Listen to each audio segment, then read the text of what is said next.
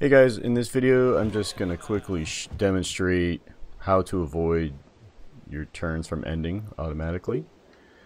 So it's a phenomenon early in the game when you only have one unit on the field and oftentimes what will happen is the game will attempt to end your turn automatically for you without actually prompting you with the little B button thing that pops up on the screen. So what I'll do is I'll demonstrate the phenomenon here and then I'll show you how to avoid it.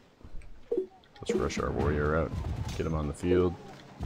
I believe this only happens when you have one unit and this was often happening to me when I take an enemy capital, my first warrior, and then it would skip my turn, which was really annoying.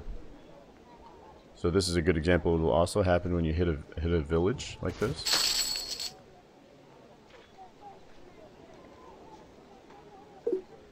So I took the enemy village and then you'll see it skip my turn right here. See how that blue, those blue gears popped up and it skipped my turn? Well, that's pretty annoying because what I wanted to do, I wanted to rush that my warrior after getting that 25 gold.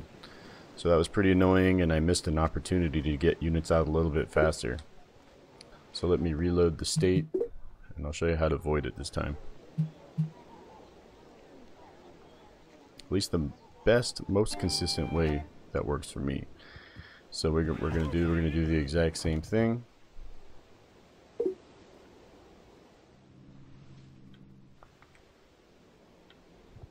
There we go. Get our 25 gold. And then we're going to plant our capital.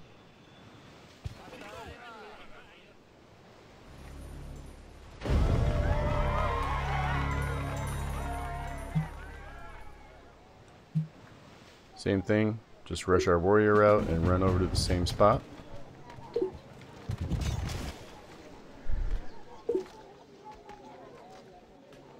Now what we're going to do is I'll show you on the controller what we're going to do is we're going to hit A to run up to the village, right? But right after I hit A, just keep mashing the right button, not the left button. Left button pulls up your city screen, right? What you're going to want to do is you're going to hit the right diplomacy button. So, A and then diplomacy. And it'll buffer that in there. And then it'll prompt you with end turn. So at this point you can go and rush your warrior out. Now you're ahead of the game.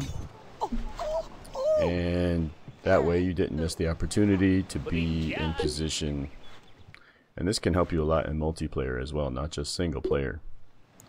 So that's it. That's all there is to it. Just remember, just hit the diplomacy button, right bumper on Xbox. Not sure what it is on the PS3, PS4, or any of the other platforms.